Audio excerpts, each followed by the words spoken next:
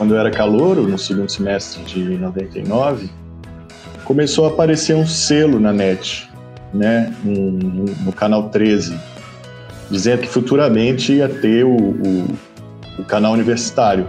Eu fui, fui atrás, fui perguntar, é, perguntei para o meu professor que era ligado à televisão na época, que estava dando aula para os calouros. Ele, olha, eu não sei, tem que ver, parece que é o Kleber, está vendo isso, o professor Kleber. E escrevi um projeto, um projetinho de um programa, eu era um calouro extremamente abusado, e depois o Kleber veio me procurar para dizer que esse programa ia ser realizado, não em função do meu projetinho, mas em função da quase que da naturalidade de um programa para para exibir o, a produção audiovisual daqui da região.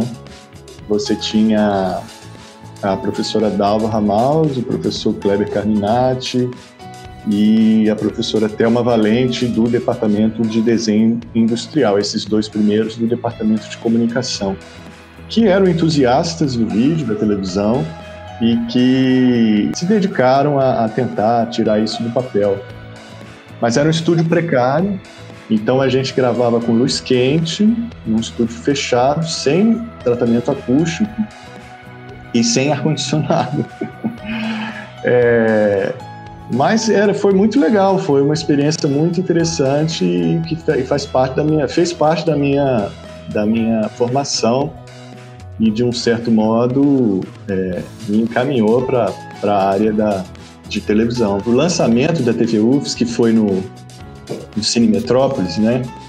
A gente fez um, um videozinho, ele pegou um monitorzinho do, de vídeo da Sony, né?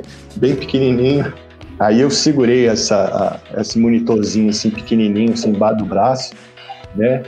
E, e olhava assim e, e, e, dizia que a TV UFS estava apenas começando, né? Como se ela fosse uma bebezinha, né? Assim, uma, uma, uma televisão que, tava, que tinha acabado de nascer. A minha experiência de, né, junto, de ter nascido aí um, um, profissional do audiovisual junto com a TV UFS, que está fazendo 20 anos, é essa. É uma lembrança legal, alegre, e de como é que, que eu lidava, aquele menino sério lidava com, com, com o audiovisual é, é, solto, alegre, livre, e experimental.